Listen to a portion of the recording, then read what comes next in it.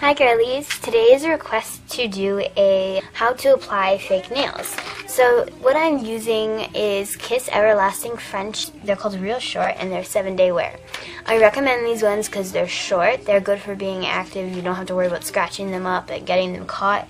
Um, you can trim them of course if you want to. They look real and they're they don't chip easily and the glue is fantastic. I've been applying fake nails every day for about a year and a half now maybe two years, I don't know. I have a condition, so I have to wear fake nails. Anyway, let's get to this video.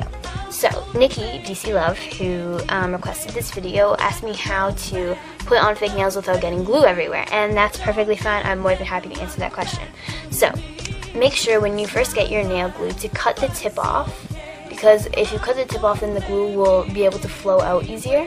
So you take your nail and your nail glue, and you put one blob at probably at the end of it. See how it's shiny?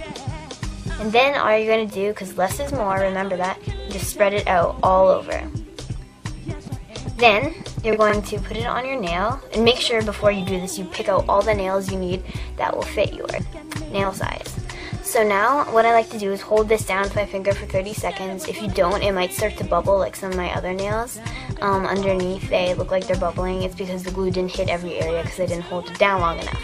If you do hold it down, then you'll get a more clear image like this one.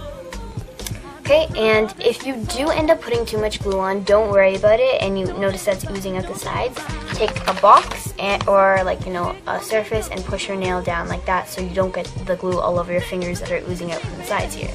So after that, um, oh, I do recommend for beginners that you get the nails that have the tabs on them because it's a lot easier to use, to hold because, you know, you don't want to get it on your fingers all the time.